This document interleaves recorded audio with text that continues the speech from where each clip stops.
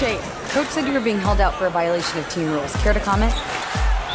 It ain't easy watching your brother fall like that, but hey, this is what we work for, all right? Look, Che, uh, coach took my scholarship, man. I've been your advisor for four years. If you really want them to hear you, you've got to be willing to sacrifice.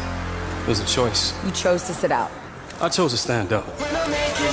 Whatever point you think you're making, son, now is not the time. You are the captain of this team. Better act like it. I believe I am, coach.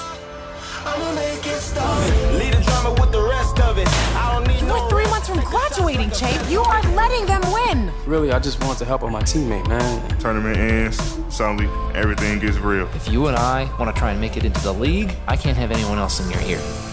So you sure this agent knows what he has in you? I mean, you're so much more than basketball. Tighten that elbow, kid. Whoa, what's up, Kimber? Are you ready to touch earth? Man, I ain't touching no earth, man. What's up?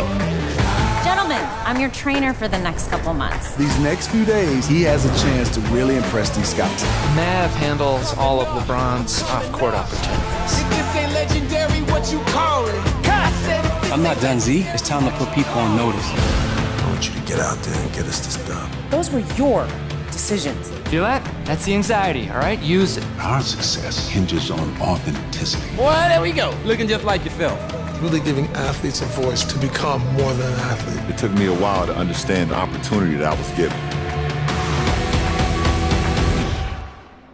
If you want it bad enough, if you're willing to sacrifice, it will find you.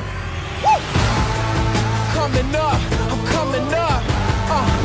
I have a private fridge stocked with kombucha in my trailer if you'd be interested. Nah, I think we're good. Yeah, we'll just catch you later. Okay.